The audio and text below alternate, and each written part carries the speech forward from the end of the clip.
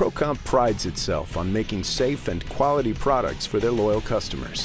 When their suspension systems are developed, they are engineered and tested to ensure premium performance. The Jeep Wrangler is a vehicle continually pushed to its limits in the off-road environment. Consumers want a more impressive performing kit off-road while still maintaining all of the vehicle's safety features on-road. ProComp works hard to make sure our kits excel in both environments. To ensure the utmost in safety, ProComp suspension systems are subjected to the FMVSS 126 test.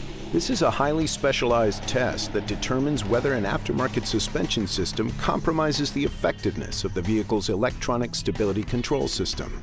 On March 23, 2014, at a proving ground in the Arizona desert, ProComp successfully tested and passed the FMVSS 126 electronic stability control test with its new 3.5 inch suspension system on a 2014 Jeep Wrangler.